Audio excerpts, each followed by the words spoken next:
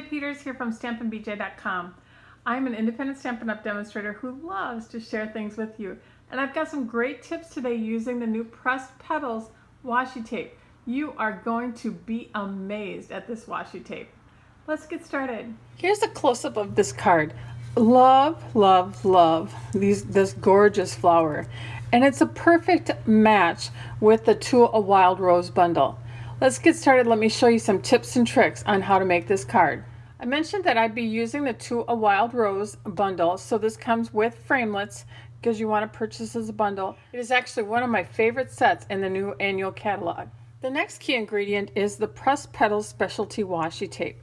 This tape, I'm going to use this one more, has about 100 petals and they're, they're, they're washi, so they're kind of sticky on the backside.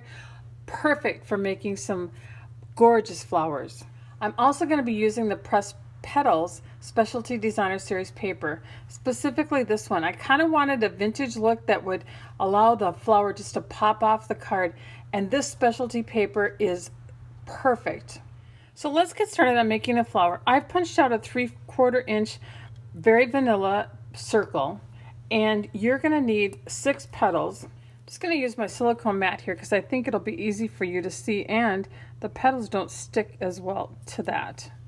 So first off, I started by placing two petals opposite each other.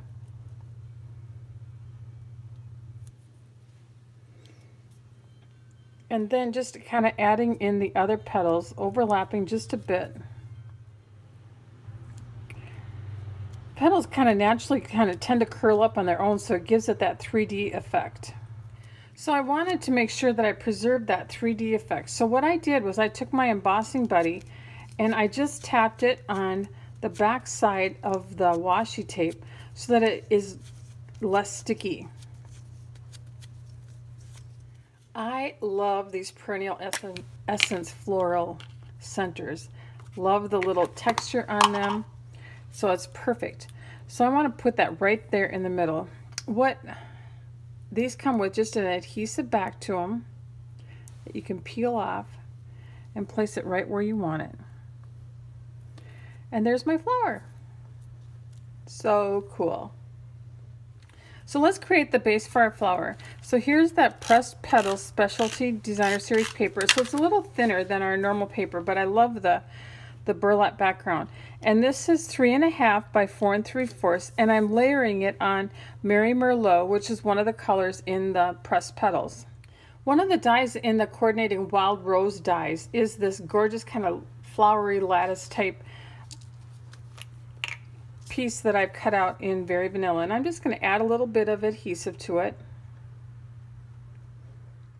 I love how this kind of just provides a background and provides just some support or um, kind of some anchoring for the flower. I'm just using some Tombow multi-purpose adhesive and just adding just little bits of it. And I'm just going to drop it right on here. And I always like to turn it over and just kind of give it a good press for a great adhesion. And there we go.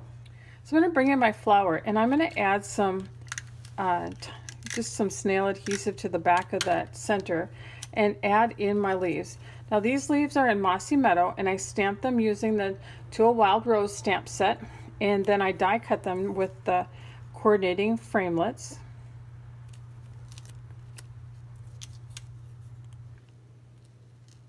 And now let's add some ad more adhesive to the back here. And there we have that part of it.